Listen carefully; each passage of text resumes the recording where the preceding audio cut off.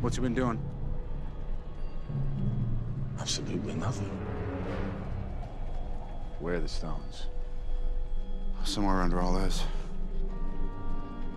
All I know is he doesn't have them. So we keep it that way. You know it's a trap, right? Yeah, I don't much care. Good. Just as long as we're all in agreement.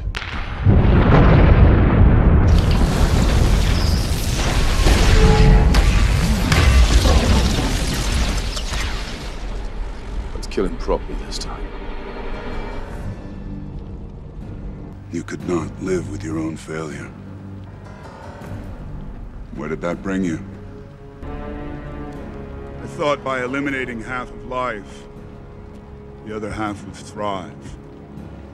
But you've shown me that's impossible. And as long as there are those that remember what was, there will always be those that are unable to accept what can be. They will resist.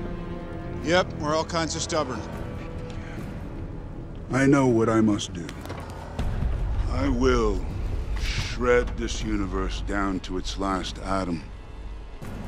And then, with the stones you've collected for me, create a new one. Teeming with life. That knows not what it has lost, but only what it has been given. A grateful universe. Born out of blood. They'll never know it. Because you won't be alive to tell them.